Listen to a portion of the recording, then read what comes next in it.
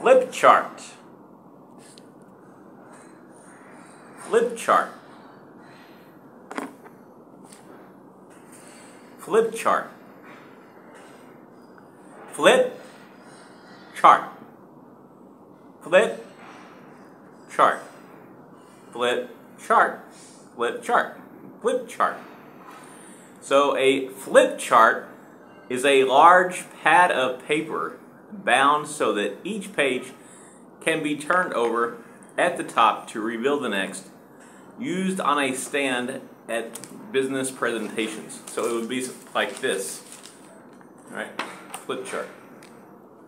And in a sentence, we could say, the salesman wrote down the figures on a flip chart. Flip chart.